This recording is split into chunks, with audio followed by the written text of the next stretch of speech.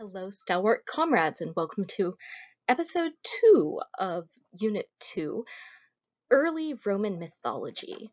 So, we've talked about early Roman religion, we've talked a little bit about the god end of mythology, and we've touched slightly on hero and ancestor worship, another component of Roman religion.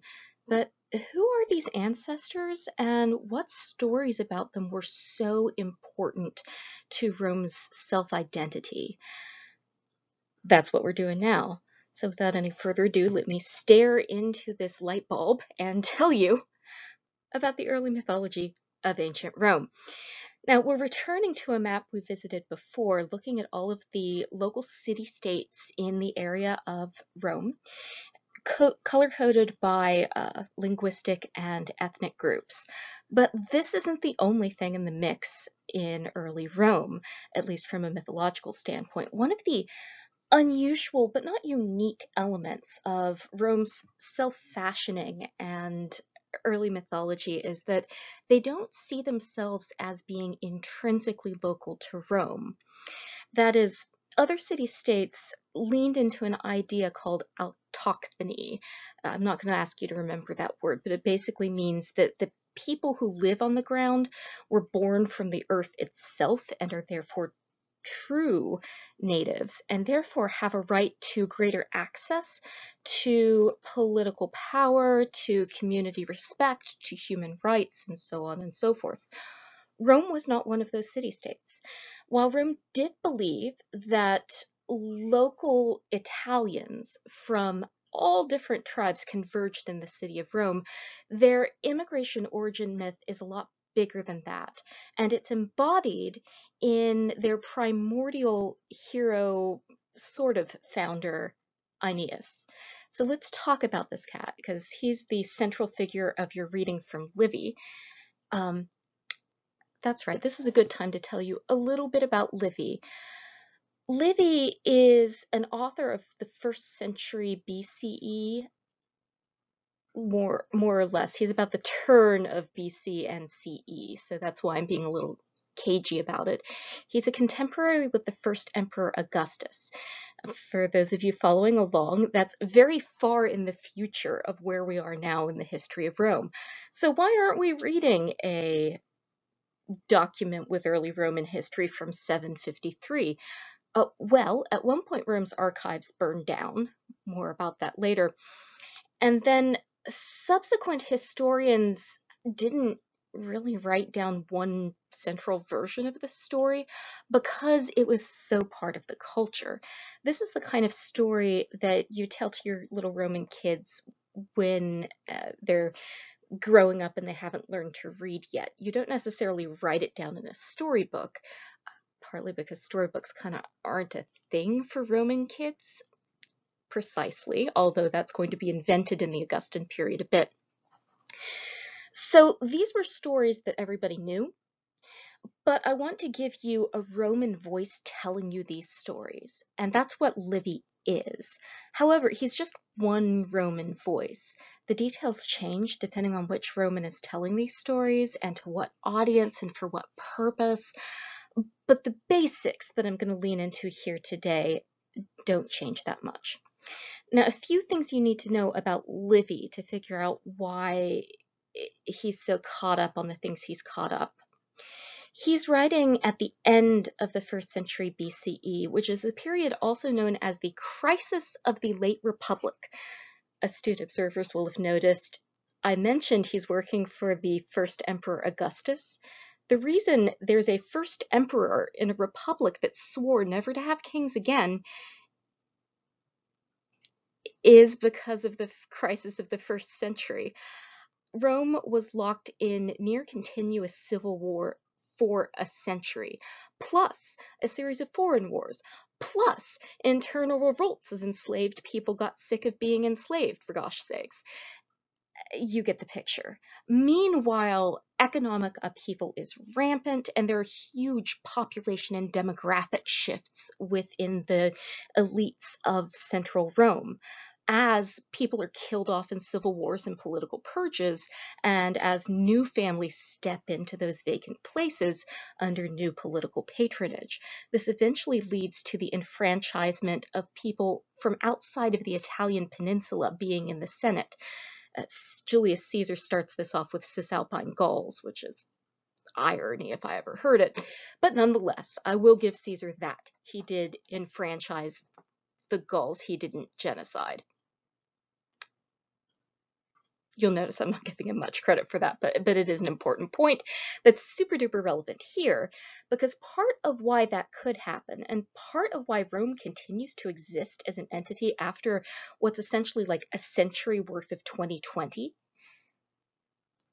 is that Rome had within it this um, renewability of its human resources, which is a super messed up way to phrase this. I'm not saying it's a good renewability because it relies on enslavement cycles and not cool. But Rome did allow for people to become enfranchised and included within the Roman umbrella. They didn't have the kinds of um, ancestral citizenship tests that we see in places like Athens. And this, along with a, a good deal of just dumb luck on the part of Rome and stupid political decisions by the, well, no, I don't want to get on the Ptolemies case. They did okay. Um, the Attalids, though, they know what they did. Um, at any rate, the point to all of this is Livy is trying to write an early history of Rome that's helping a generation, well, really three generations of Romans deal with why do we have civil wars? What is it about us Romans that makes us so prone to killing each other? Their early mythology helps them think through that. Another question they're asking is what does it mean to be a Roman? Who counts as Roman? Who doesn't count as Roman? What does Roman even mean? Like, what do we look for when we identify somebody as an us? And what do we look for in a them? And then finally, what are things that Romans can rally behind and reunite underneath? And that I think is the most important thing Livy's thinking about is how do we not kill each other? How do we come together? How do we embrace a future that doesn't look a lot like our past? And how do we make sense of a political reality that is really changed from the political reality we grew up in. So, these are the things that tell you why Livy's saying what he's saying, and these are the things I'm going to lean into as I take you through the characters in these stories. I am not, however, going to tell you the whole stories, that's in your reading. I'm just going to give you a sense of which names are important, some stuff you need to know about these folks to kind of get what's going on in the story. There are a lot of names I'm not going to ask you about, so don't panic when you see all of the names. If the name's on the slide, I'm going to ask you about it. If it's on the study guide, it's important. If it's not, you can kind of let it slide. Just kind of remember what happens and who these main characters are. Okay, without any further ado, so let's talk about this mixed Roman heritage. This ancestral hero deity I was talking about is Aeneas.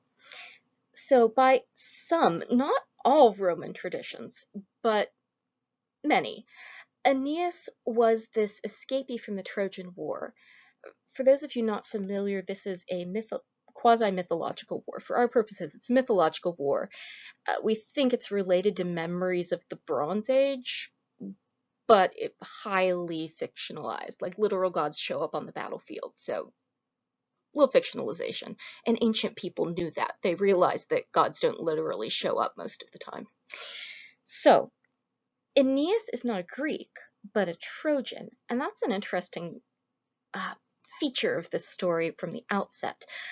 Because those of you who are familiar with the Trojan War will remember that the Greeks win, the Trojans lose.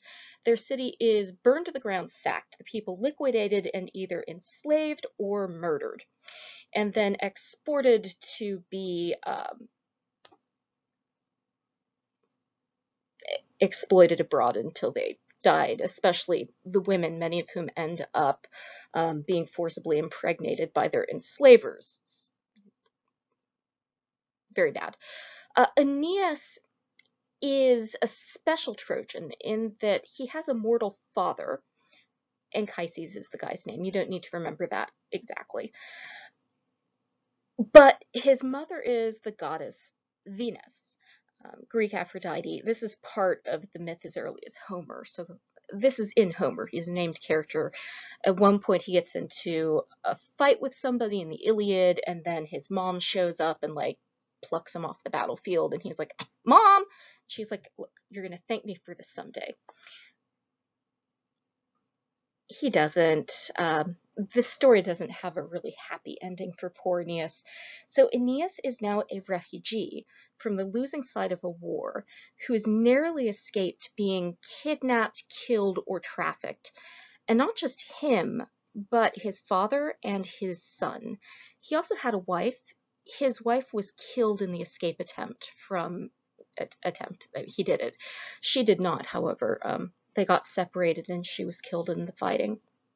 So his family is broken as a result of the Trojan War. And then he begins to wander the earth in search of a promise that the gods made to him that he would found a new city somewhere.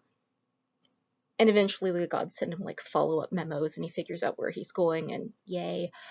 So a couple important things to notice about this myth. There are three things that Aeneas takes with him when he leaves the city of Troy. And the first you can see here in this illustration. This is from a Roman fresco, one of many. Romans loved having this on the wall. So here is Aeneas. He's the dude in the center. And then on his back is this um, surprisingly tiny little dude that is his father, Anchises. You can tell it's his dad because he's got a beard. He's carrying Anchises because Anchises is disabled. He is unable to walk, and therefore his son has to carry him. In his other hand, you can see he's holding his little kid's hand. That's Ascanius. His other name is Iulus. Like many people in myth, he has two names. Just go with it. So Ascanius slash Iulus is the ancestor of one of the founding families of Rome, the family Julia, as in like Julius Caesar and also Gaius Julius Caesar Octavianus Augustus, the first emperor of Rome, which is why this is so relevant. So this is not just the ancestor of the Roman people, but also the ancestor of Livy's boss. Now, this story was in place well before Julius Caesar and his family took over the Roman state. This was a family legend from as far back as we can trace it, so this kind of comes baked in. Every family has a legend. Not every family can parlay that legend into an excuse to be deified, which is what ends up happening with Julius Caesar and company. Bit of an awkward deity, though. Uh, Venus, as I mentioned before, may not be your first choice if you were picking gods out of a hat, but the Caesars had to do what they had to do with what they had. Uh, so, the other bit so his dad, his son, and then here his father. Sometimes you'll see it also in Aeneas's hand. There's kind of box shape. Sometimes it'll be a little statue. These are the lares and penates that Aeneas takes from his household to Rome. So I mentioned you can sometimes transplant a lar from one bit of ground to another, and that's what Aeneas does. So he takes the household gods of Troy, brings them into Italy, and uses those as the foundations of the Roman state and his own household. This is something that's also really important when we're thinking about Romans. The family is the basic unit of the state. Other Mediterranean states build a wall between your family and the state. These are two different spheres.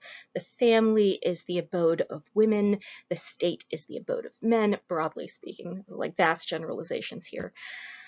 Rome, not so much. They viewed the household as the smallest unit of the state, and they expected that the household would be harnessed in service to the state, and that the state, in turn, was a collection of Roman citizen households coming together in the shared project of government. These are vast generalizations, but I think this gives you the essential um, flavor of what's baked into Rome and why they're going to make some of the decisions they make here. So when Aeneas chooses what to take with him from his home city, the fact that he takes his father, his elders, his son, his future, and his household gods, which are both his household, but for Romans also part of the state, the smallest unit of statehood. He's following a Roman version called pietas. And I'll have that on another slide, but that's a term I'm going to ask you to think about when you look at Livy. Pietas is related to the English word piety, but it doesn't mean piety. It means what, obeying one's duty to the gods, the state, and the family. Not necessarily in that order, like all at the same time. They're all equally important and you have to obey them all at once. And if you think that might conflict sometimes, you are not wrong. This is one of the things Aeneas has to deal with, is that he's so caught between respecting his father, but also respecting his homeland that he just abandoned, but he's got to found a new homeland, and he's got his gods, but the gods are giving him bad information, and sometimes he has to make choices that aren't great for his family. All of this creates in Aeneas a building tension that we'll see when we read our other Aeneas reading. That's going to be Virgil's Aeneid, but we're not going to get to that till we get to the age of Augustus, so stay tuned. Now, Aeneas doesn't really get all that near Rome. In the Aeneid, like he visits it once, but he does not found Rome. He doesn't even found a city. What he does do is marry a local Italian and then die shortly afterwards. It's his son, his future, um, Ascanius or Iulus, who founds, uh, not Rome, another city, Alba Longa. You may have noticed it as one of the little dots near Rome. So this is the first step in founding Rome, but it's not happening in Rome. For that, we need another few generations of mythological pre-Romans. Here are a couple other statues of Aeneas fleeing his home city to give you an idea of what this looked like in other artistic representations. These are important to be able to pick out because this is for Romans an image that's important and foundational as perhaps uh, the Lincoln Memorial and Lincoln statue might be to people who grow up in America.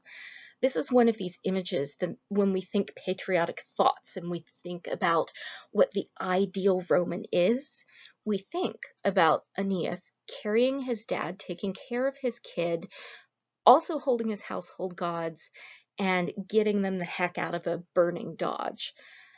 However, in this story, there's a contradiction. Aeneas is abandoning his homeland. And as I just said, pietas, one of the big three, is your duty to the state. How can we say that Aeneas exemplifies pietas when he's abandoning his hometown? Well, versions of the myth usually have the gods showing up and saying, hey, Aeneas, Troy is doomed. The gods have decided Troy is no more. You're going to found New Troy. So in that version, yeah, it's not Troy, but it's New Troy. It, it's in an extreme situation. It can be patriotic to refound your city. So that's a thing. There are other versions that lean a little bit more heavily into this dark side, though, saying that, yeah, Aeneas does have kind of a funky track record. And that's something that ancient Romans kind of sat with. Both Aeneas is meant to be the emblem of perfect Romanhood, and yet there are some cracks in that Romanhood, and this is something Romans used to think through their own tension with patriotic expectations. So I find this a neat image when I look at it because I see in it both Romans aspiring to be the best good people in their own terms that they could be, but also looking at an unattainable ideal. And I wonder sometimes if I were an ancient Roman looking at these statues, would I feel despair? Would I feel inadequacy? Would I feel inspiration? Would I feel hope? Would all of these things be there? That's the thing. Okay, so on to the descendants. We have this family tree. I'm not going to ask you to know everybody in here. The main bits where we're going to pick it up are with Numitor and Amulius. So these are brothers. Numitor is the older brother, so he's meant to be the heir to the throne of Alba Longa. We're not in Rome yet. However, his brother exiles him from the city, so Amulius kicks Numitor out. And Numitor's only child is a daughter named Rhea Silvia. Amulius forces her to become a Vestal Virgin in Alba Longa, and thus he keeps her from having any kids who would challenge Amulius's claim to the throne. Weirdly, he didn't kill his brother. His brother's just like hanging out on a farm somewhere in the countryside. So, Rhea Silvia, however, has the ill fortune to be raped by the god Mars. And this is considered rape by ancient Romans too. This isn't just my modernized saying no consent rape. Romans too thought, yes, rape. This is not a great situation. Consent is not involved. Not okay.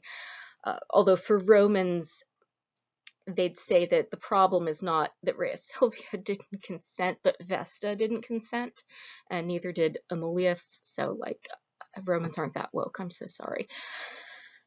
So, Rhea Silvia has twins, Romulus and Remus, but as you may recall from the overview of Vestal Virgins, if a Vestal Virgin has sex, she's considered to have broken her vows.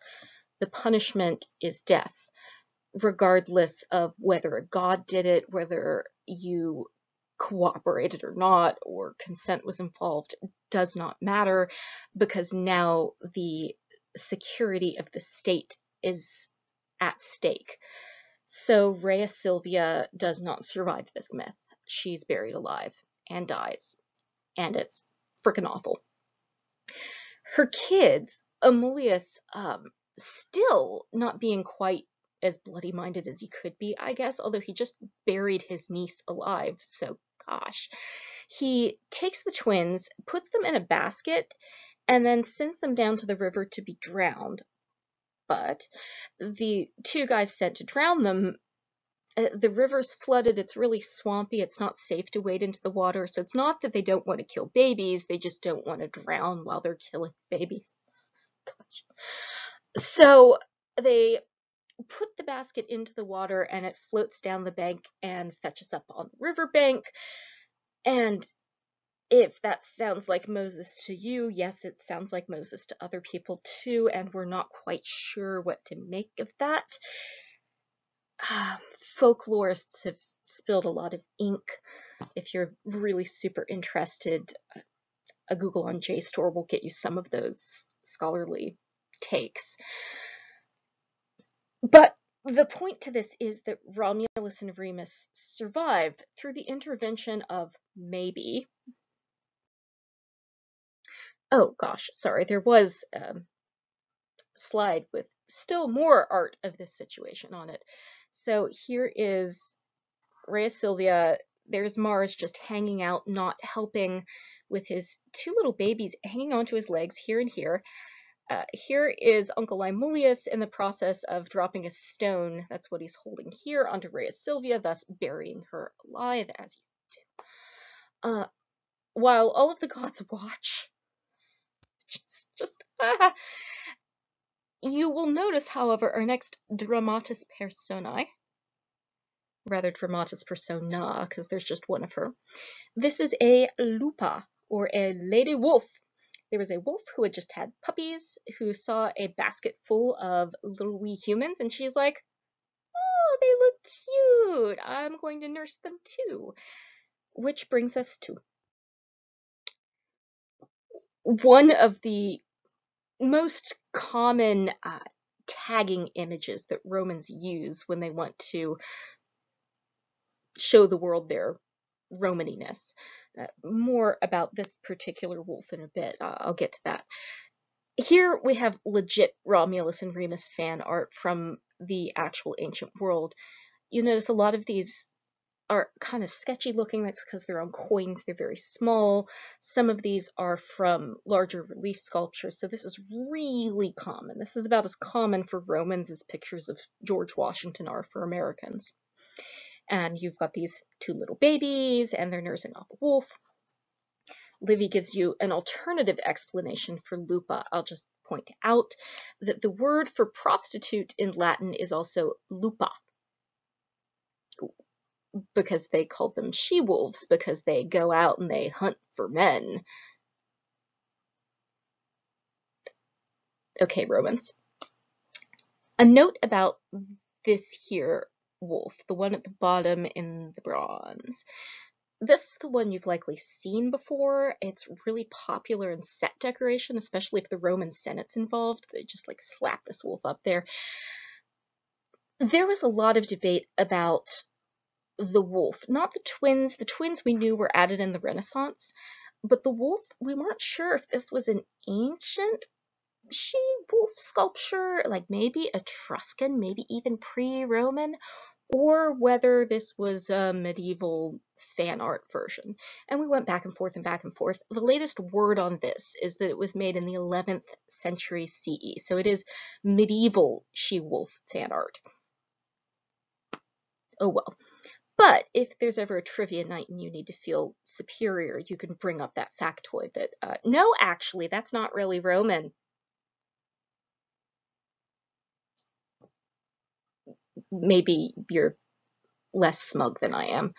No judgment. So here are the twins, Romulus and Remus. Now, the name should sound familiar to you by now of Romulus, but you may wonder, well, why aren't we calling Rome Reem, or why aren't we calling it Remurom, or something? Well, because these twins didn't get along very well. Being the children of Mars doesn't make you a particularly stable family, and perhaps having both Venus and Mars's bloodline in the mix makes for some contradictory impulses where you hurt the ones you love which is what ends up happening here. No spoiler, but I, I, will give you the spoiler. Romulus kills his brother Remus over some nonsense. Remus apparently makes fun of Romulus's walls because they're so short, and then Romulus is like, screw you, and then kills him, and then's like, I did it because he invaded my walls. And the Romans are like, dude. Now, let us revisit pietas for a minute. You're not supposed to kill your brother. That's not how we honor our family. I mean, it's not as bad as killing your father. Killing your father is much worse, but killing your brother is bad. Yet killing your brother is something that Romans have a tendency to do a lot. Also human beings, but this is a persistent issue for Romans. So part of the subtext in the Romulus myth is that the first Roman, Romulus, Mr. Rome, was a brother killer. He was a founder, he was a beginner, but also from its inception, Rome is built on a brother's blood. And that matters for Romans that's a story that they sit with and point to as they process their mid centuries of trauma. And it's not the end of it either. The crisis of the third century makes the first century look like a rehearsal. So, you know, 2021 could be worse. Let's try not to raise that bar, shall we? Okay, so on to the next problem in early Rome, because we're not done with Mr. Rom Romulus yet. Because he needed people to live in his new city, and new cities have a bit of a problem in attracting new people because most people already have a city, and people who don't already have a city usually don't have a city because something has gone horribly wrong for them.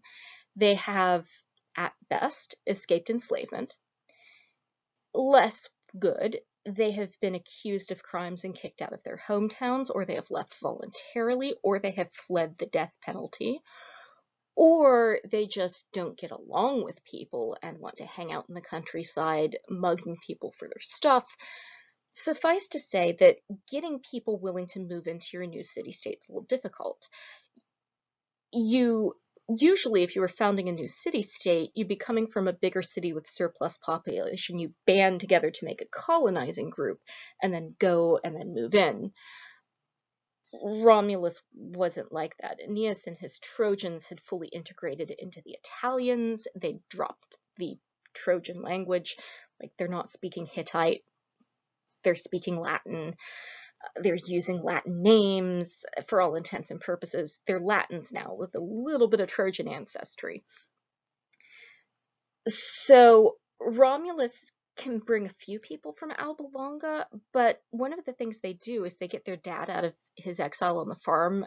They kick out their uncle and they put their dad back on the throne. So Alba Longa is politically stable again. It's fine. Why would you leave Alba Longa to go move into a bunch of huts on the Palatine and the Capitoline?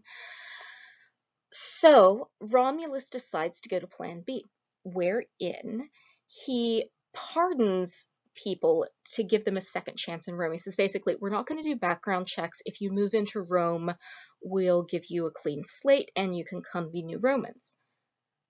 But due to crime demographics and uh, gender norms in the period, these people were pretty much all men.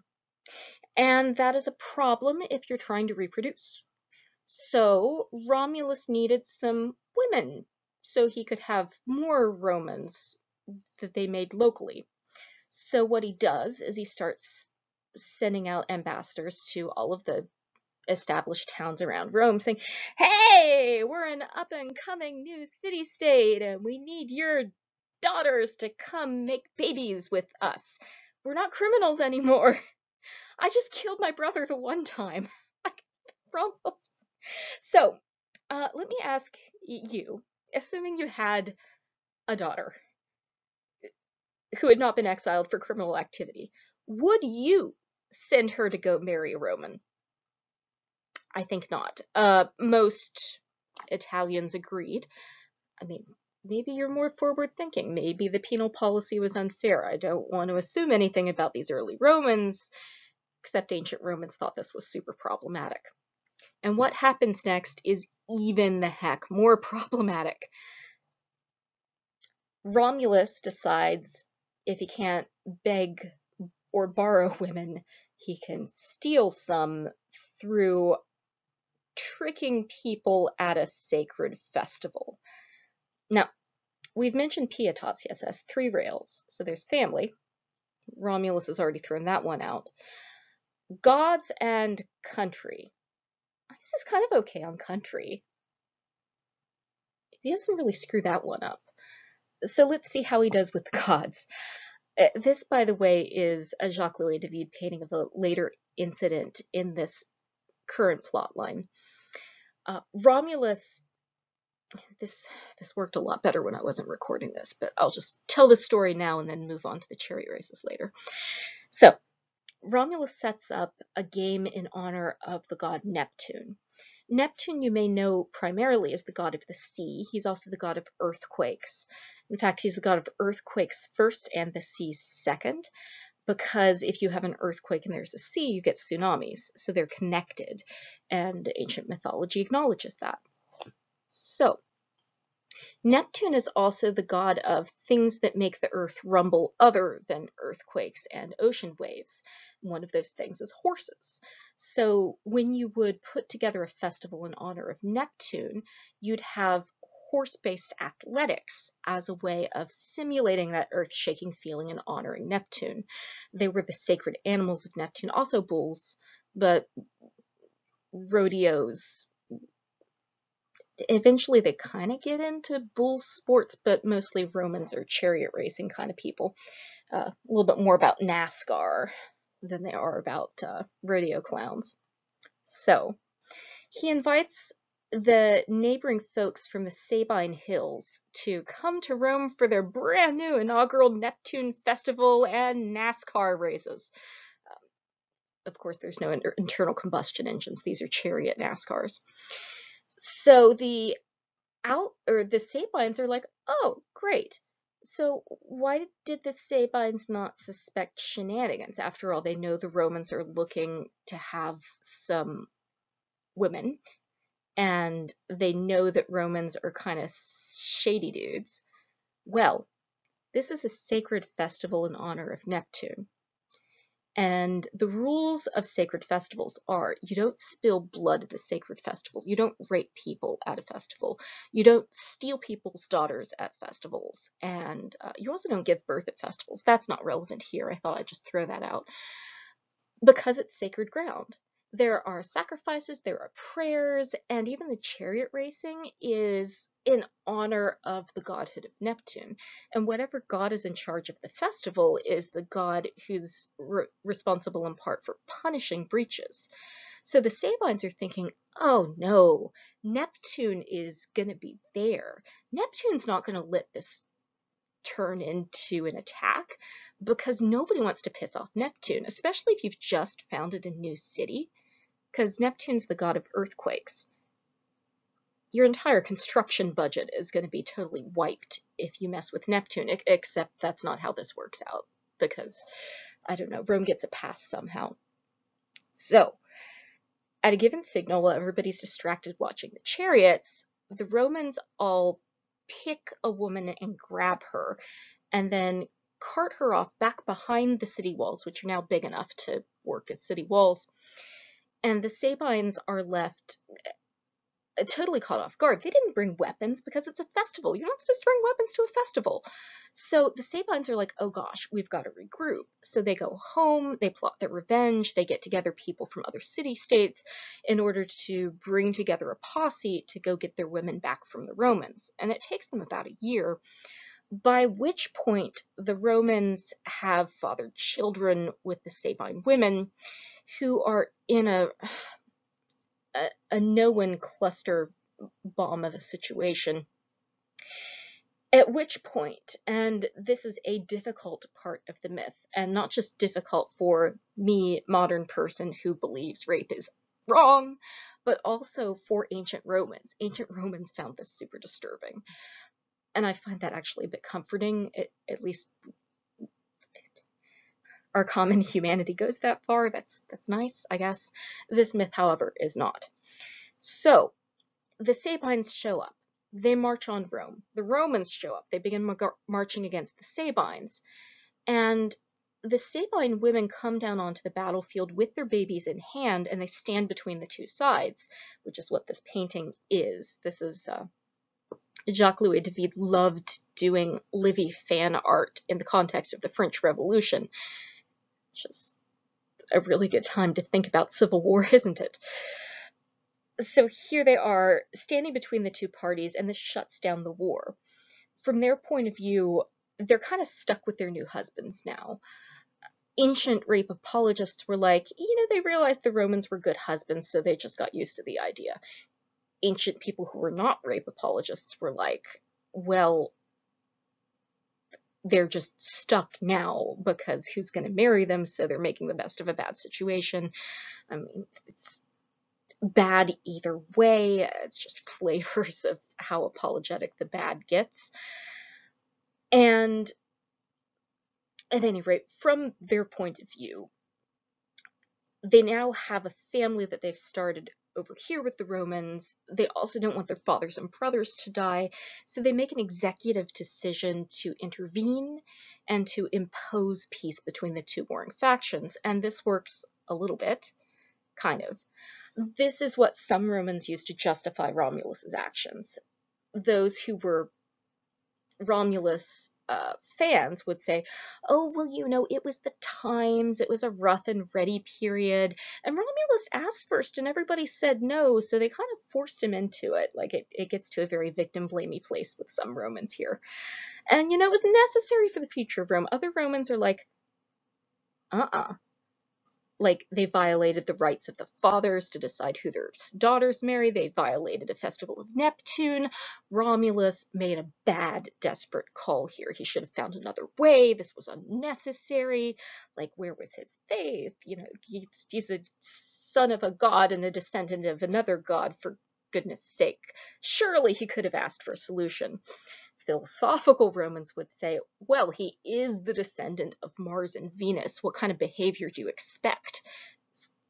He's confused. I am comforted by the fact that even the most like uh, trying to be okay with it Romans uh, still find this off-putting and problematic enough that they spend energy explaining it. And this is something that Romans really did wrestle with. Like, what does it mean that the first Romans were the product of violence? What does it mean that Roman women were drug into the state unwillingly without their family's backing? And that's part of the myth too, because there are downstream consequences of this. This story is not yet over at this point. The Sabines don't forgive and forget. However, the Sabines plan another go at Rome because they've had their rights violated. Like, I do not blame them. So, what they do at this next stage is under their king Titus Tatius, they plan an assault on the fortified center of Rome, the Capitolium. So this is the hill that eventually is going to have Jupiter Optimus Maximus and Juno Moneta on it. This is a hill that has an escarpment on one side, and that's what we're looking at here. So this is a, a cliff side that's had some buildings built up against it, but you can see how there's this steep drop off the side of this rocky outcroppy cliff here. This is Tarpeia's rock, sometimes also called the Tarpeian rock. And this is the place where traitors to the state of Rome were pushed off the ledge. Sometimes you'd like torture them, beat them up, and push them off the ledge. Sometimes you'd kill them, then dump them off the ledge. If you were really angry, you'd put hooks in them, drag them down the Gemonian stairs, and then maybe take them back up and throw them off. Eh, Romans can be quite extra when they're mad at you, is my point here. And this all goes back to the story of Tarpeia, which is also in this same era of Romulus mythology and Livy. This too is a really old myth that was in the Roman canon long before Livy shows up. And this is a coin showing the scene at which Tarpeia gives her name to this rock. So Tarpeia is a Roman woman. She's one of, um, she's older. She's teenage, so gosh, I'm not sure how this timeline works. She might be like a grown-up product of one of these Sabine rapes, but I actually need to. I haven't thought about this. Oh, goodness. Well, Tarpeia is outside the city, and then she runs into some of the Sabine scouts, and then she sees an opportunity to make a deal. She looks on their arms, and they've got these nice bracelets, and she's like, hey, if you give me those bracelets, then I'll show you how to get in behind the walls. The Sabines are like, wait, wait, what do you want? She's like, I, I want those things on your arms. And the Sabines are like, yeah, we'll give you the thing on our arms if you show us the way into the citadel. So she shows them the way into the citadel, and then they drop the things that are on their arms on top of her. Now, they had on bracelets, yes, but they were also wielding shields the other things on their arms are their shields. These are typical early Roman shields here, and they're dropping them on top of this female figure who's currently on her knees, sinking down, like begging for her life, because she's being crushed to death in a pile of shields. The Sabines at this point decide that if somebody will betray their own people, then they don't deserve to live, even if they're not on their side, so death to traitors, go die. And in Tarpeia's dishonor, Romans named their Traitor's Rock after her because she was Rome's first traitor. Lovely.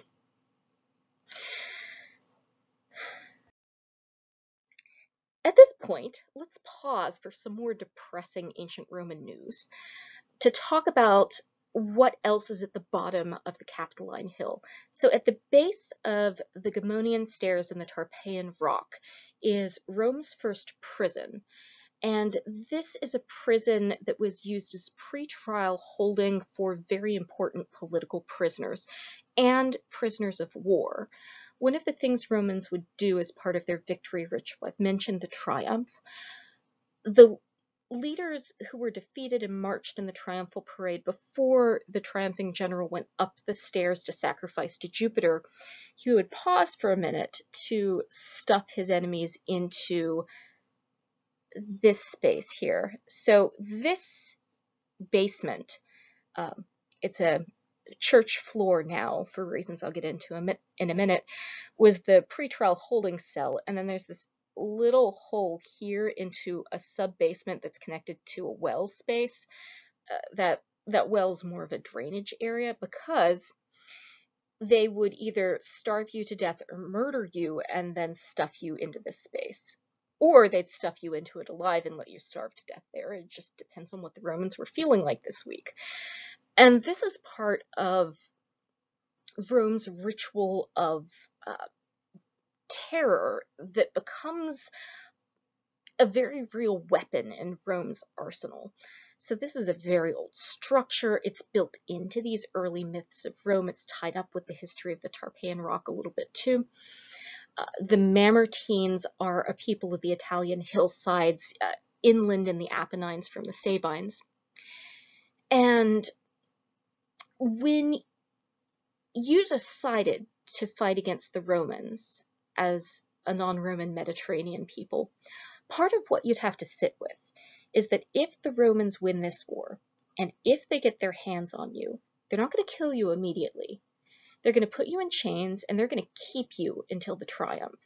Then they're going to parade you through the streets, and then they're going to kill you in a ritual and horrible way in front of a cheering mob of Romans. It's going to humiliate you, it's going to humiliate your people, and it's going to be personally terrifying. Like I've I've visited this space before last time I was in Italy, and it's one of these places where I don't know if it's because I know who all died there and what it was used for, or if it's just the feel of the place but it's a hard place for me to stand in because of the weight of death and despair that's in the history of the rocks. I feel the same way about the Colosseum. I find it actively upsetting to be there because I'm I'm sensitive and I'm okay with that. I think that's a good thing.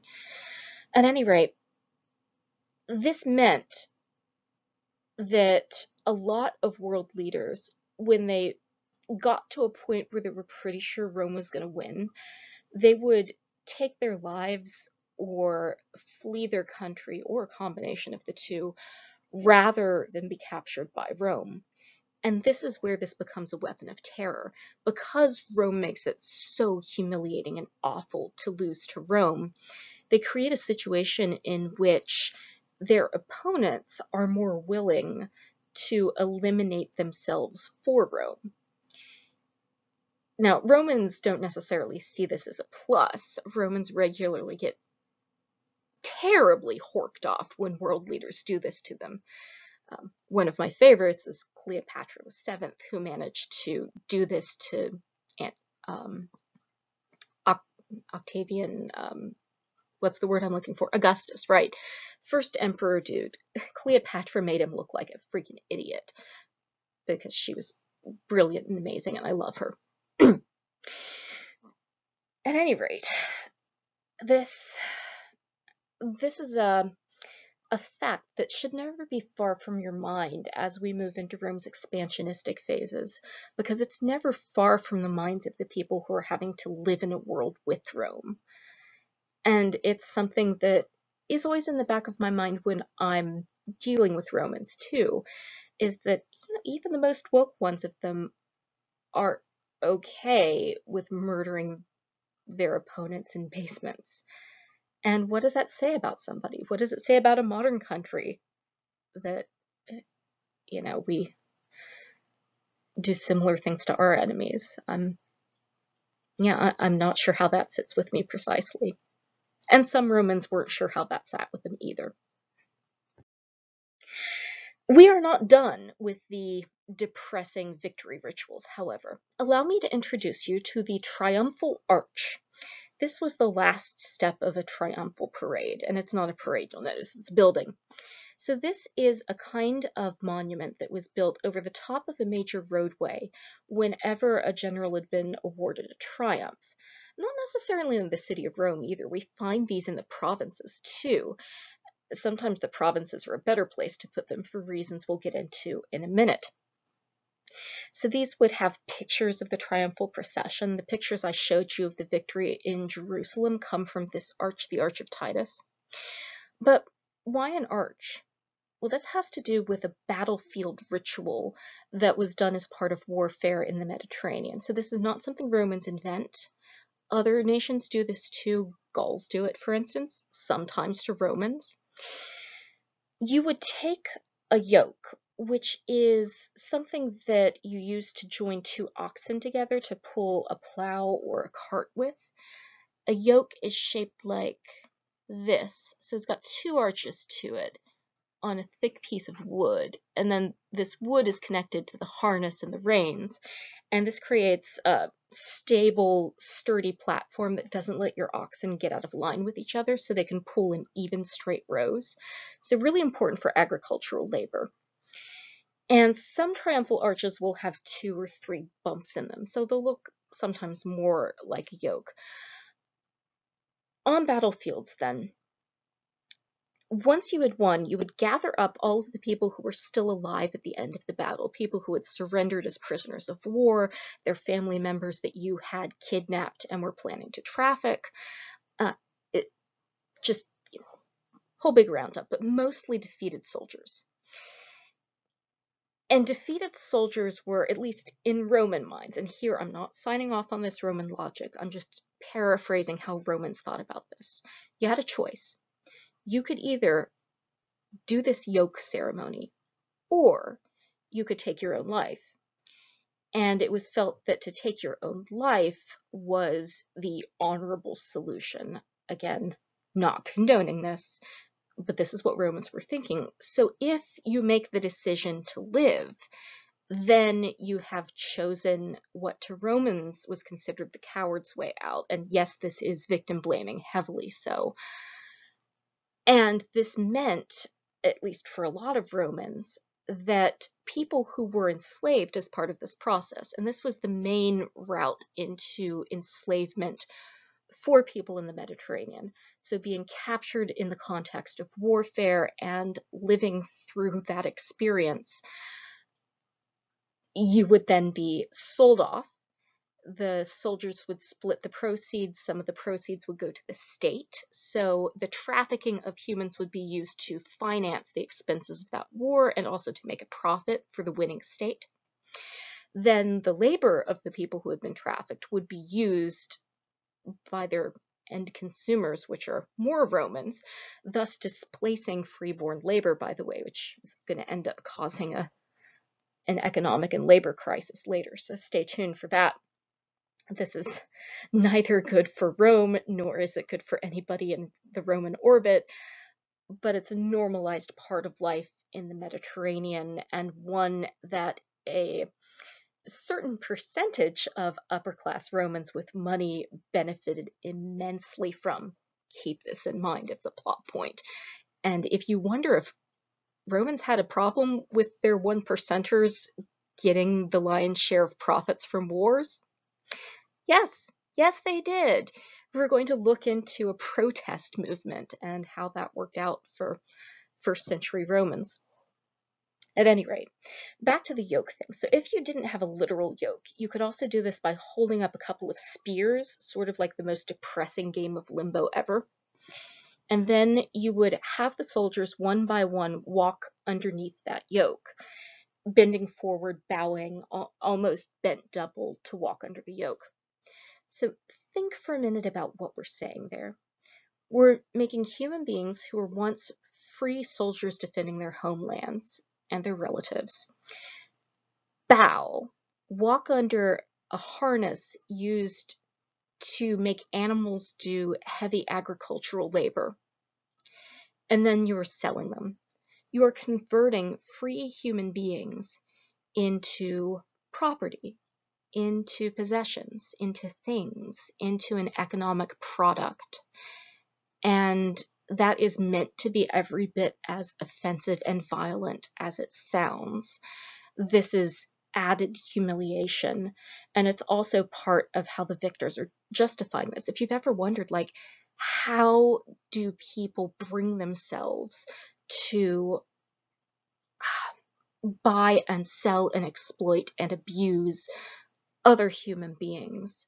This is one of the ways that Romans justified this. They'd say they deserved it. They had a choice to surrender. They uh, they're the losers, they're not the winners. They fought against Rome, so they're our enemies anyway, so they're not fully people. And uh, they'd also say, you know, maybe they'll be freed someday. And when you're freed, that's the path to Roman citizenship. And that's part of the carrot to this stick that would be dangled is there's a, a tiny bit of hope of redemption for a very small subset of enslaved people. And eventually, most Romans have enslavement somewhere back in their family tree. But this also becomes part of the justification. This kind of, it happened to us, so we can do it to other people. Maybe it's not good, but it's the norm, and we have to live in the world that we're given. And the reason why I'm going into this mindset is because this is a mindset that uh, maybe you're a better human than I am, but it's a mindset that I've had in other things. When I've thought about how okay am I with the labor that's making my clothes? Do I know that they're being exploited? Do I know if there's a sweatshop condition there? Do I know if enslaved labor was used to make my coffee or my sugar? How disconnected am I from that chain? what is my personal burden in this system? And the corollary to that, how can I avoid being part of it in a world where so much of our economic structure is built on prices that rest on labor markets that aren't always ethical? So I'm not drawing an equivalency here, and I am absolutely not justifying, in fact, quite the opposite. I think we can too easily fall into a judgmental space that doesn't let us use this reality very well. And I'm not here for that. Like, why are we taking this class if it's not an opportunity to reflect and think and consider? Romans' blindness and complicity helps us sit with our own and sometimes once we see the shape of justification in a Roman's words, we can take it back into our life and use it as a way of processing and doing better. So I'm not doing this to make anybody feel horrible about themselves. So please don't take it that way because this is not what I'm going for here. Um, but rather, this is one of the ways we dig ourselves out is good hard looks back and using our compassion and humanity to creatively imagine something else. All of which is to say, there's going to be some dark stuff here. This is A, a history class, and B, about Romans. But this isn't necessarily a dark class. Romans themselves are going to have some answers to these problems, and that's something we're going to lean into and look at as we go ahead. Um, I find myself very much of the uh, Mr. Rogers look for the helpers school of coping. We're going to be looking at some helpers this semester. All right, so a few more things, and then I'm done, I swear. All right, let's talk about the chariot races. So I mentioned chariot races sacred to Neptune. Don't kidnap people at them. chariot racing was a huge state sponsored sport in the ancient world as part of its religion budget. So, Neptune is part of the state religion. We worship him by having earth shaking events, and chariot races are part of that. Gladiatorial games get folded into this too, so the same spaces used for chariot racing are also being used for gladiatorial competition. But Romans would have set aside chariot races as a separate event thing. And chariot races continue to be hugely popular all the way through the room. In fact, they're still popular because we still like watching fast things go in circles around a track while they run into each other and horrible accidents happen and things blow up and monster trucks run over things. You know, this is something that humanity still finds fascinating to watch the safety protocols aren't as great for the ancient world, and whew, it's. Now I'll get to the safety protocols in a minute. So let's have a look at where we do this in ancient Rome. This brings us to another important landmark of downtown Rome, and this is another early one. As it survives today, the Circus Maximus is the, the fancier, upgraded version built in much later years, but the space was already being used for chariot races in the very earliest stages of Rome. So as the Forum is developing on the other side of the Palatine Hill, so I'm going to mark the Palatine Hill off in, is the blue showing up well? Let's try it in green. Even worse. All right. All right, now it's in orange, and I'll just make it really super thick so you can see it. So there's the Palatine Hill and I'm going to put the Roman Forum in in purple. So here's the Roman Forum. Capitoline Hill is to the northwest of that. And then in red, this long space is the Circus Maximus. Roman circuses are really easy to notice because they've got this very unique shape, this long stadium with a kind of flattened end and then a round end with a wall down the center. Smaller versions of this were used in foot races, but if it's big enough to put a bunch of chariots next to each other on, then you're looking at a circus. And we're finding more of them as we get better at looking at sketchy remains because often the stadium seating's removed and then it's kind of hard to tell you're looking at the footprint.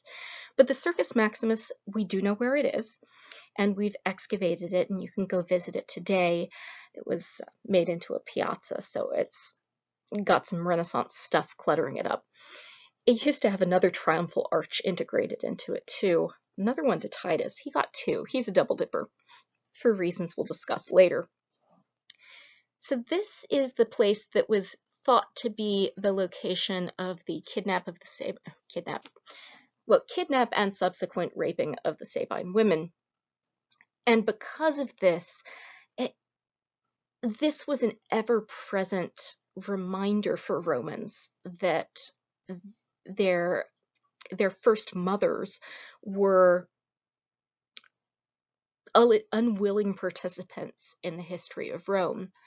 And this is something Romans had a bit of a hard time with, and it was an inescapable fact because there were several festivals held in this venue per year, and you couldn't be there without knowing about the Sabine women, even if you didn't know it would be brought up as part of the festivities. Like the Vestal Virgins would come and watch too, so that's also part of the mix.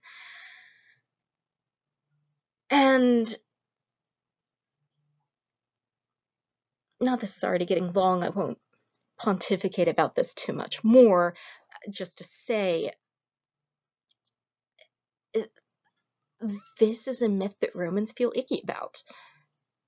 And that's an interesting thing, isn't it? Because the stories that you retell can go away, right? We lose legends and versions of legends all the time. But even though Romans found this a really distressing story of early Rome, they still keep it around. They still bring it up a lot. They still use it to think with. And I think embedded in that process is Romans thinking about their own problematic position as a state and the things that one must do to survive in this world where you're surrounded by better established places with more security over time, with greater connections to the Mediterranean world, with better natural resources to support them. Rome presents itself as an underdog here, and it's part of how it somewhat justifies the Sabine incident and the existence of Romulus. But it's also a place that Rome leans into when it's feeling uncomfortable about what it's done to get to where it is. This, for Romans, was the first, maybe not the first even, but one of the first moral compromises made in pursuit of survival as a state.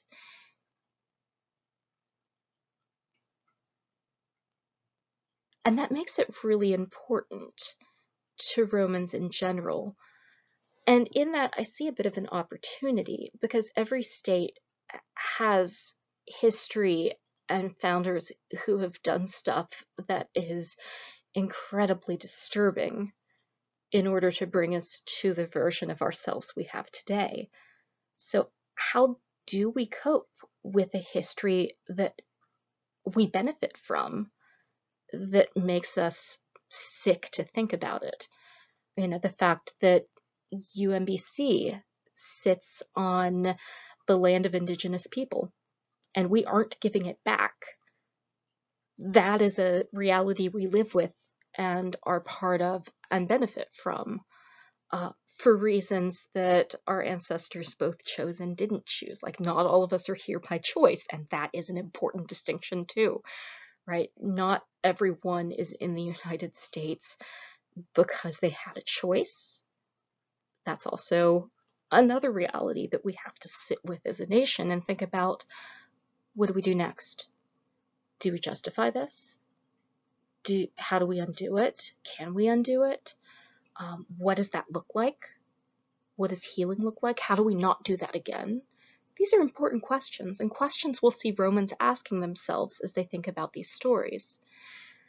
And that's the idea I'm going to leave you on with uh, this other picture of a circus here with a chariot race in progress. So this is a fragmentary bit of art showing chariots in the process of colliding as they're going around the course. Me do this in red. So here they are at the edge, running into each other as they try to go around the curve and their chariots are popping wheelies.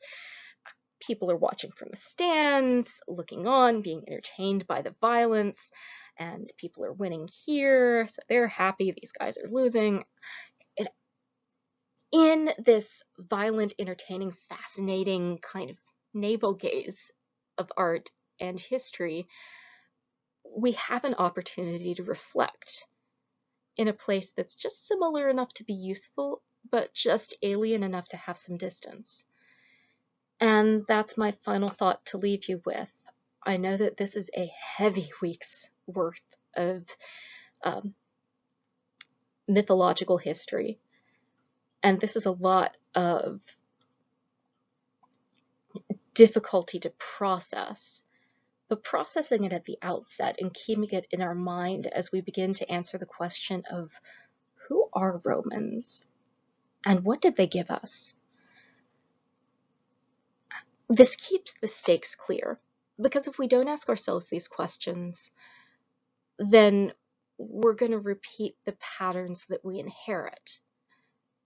Not all patterns are bad parents patterns to repeat, but which ones are good and which ones are bad, we need to sort out before we're asking the question in hindsight.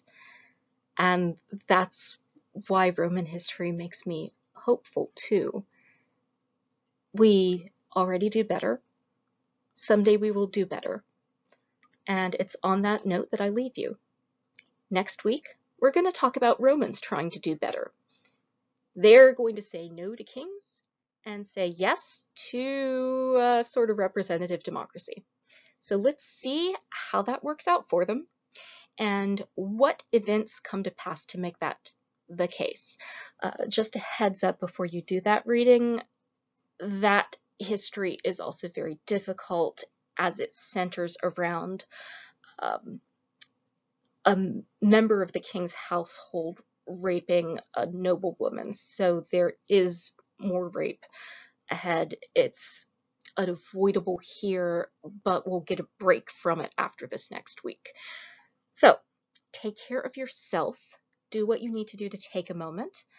And I will see you in week three. trong